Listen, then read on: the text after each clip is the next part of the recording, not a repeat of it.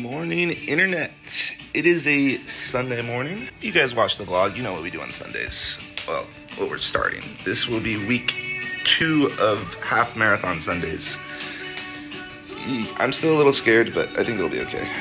Um, we're gonna put some good fuel in us. Last time we uh, we burned out at mile 10 and it got bad. So hopefully this time that does not happen. Yeah, for preparation, we consumed our vitamin array. We made some oats and we're gonna stuff with a little workout.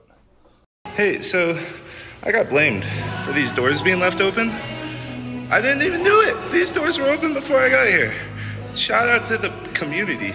You guys understand. Open doors are way nicer. Anyway, so this is our morning workout. We're gonna get some edits knocked out too. And we're gonna put like food that'll keep us sustained and our belly. Then we'll be ready to run. All right, internet, we are on our way back from hot tub. We have eaten all of our oatmeal. We are ready to go take on the half marathon. Boop. Magic. Hopefully we can make it all 13 before dying. Eek. Wish us luck. All right, internet, we made it home. We got a little drink from our convenience store on the way. But average, like ordinary dude can run, you know, five miles. Extraordinary, you double that, you add two, and then add one more on top of that. So five times two is 10, plus two is 12, add one more is 13. That's a half marathon.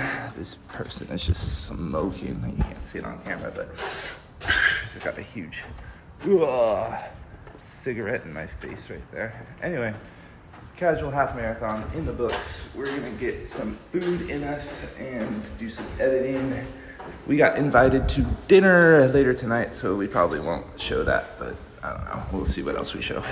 What's good, internet? So post run refuel.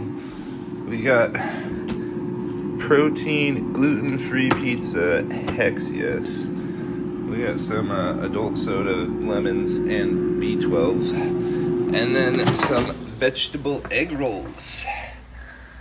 So yeah, we're gonna eat and then we're probably gonna go to the grocery store. We also need to edit a video and then we have dinner with our friend at six. It's so a couple hours. We can get all this done. Let's go.